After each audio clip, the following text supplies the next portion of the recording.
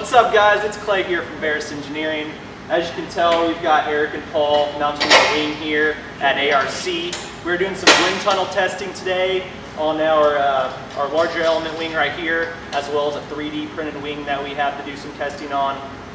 Hopefully when we get done here today, we'll be able to share this data with you, and uh, stay tuned.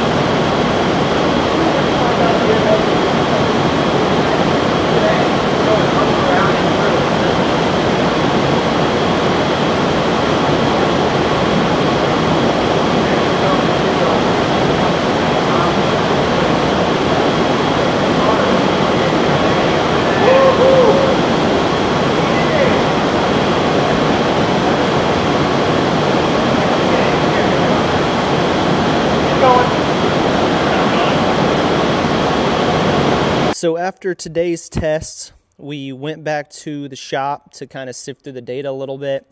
And what we found out was that with under a 2% difference from our CFD analysis to the wind tunnel, we are extremely excited about the results correlating so well. If you're interested in a little bit more of the data side, please check out our blog that we released earlier this week. I will also attach the link down in the description below.